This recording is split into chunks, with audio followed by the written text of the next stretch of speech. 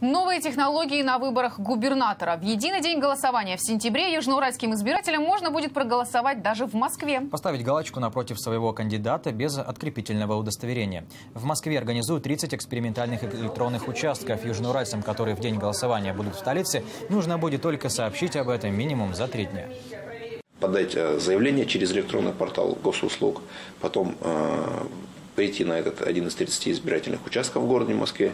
И несмотря на то, что там будут именно выборы в Мосгордуму, там он может проголосовать за своего кандидата на выборах э, губернатора Челябинской области. В Челябинске все участки оборудуют электронными урнами, так называемыми КАИБами. Они автоматически считают бюллетени, что сделает голосование еще более прозрачным. А для обеспечения порядка и легитимности привлекут общественных наблюдателей. Напомню, единый день голосования пройдет в 16 субъектах Российской Федерации. 8 сентября южноуральцы будут выбирать губернатора.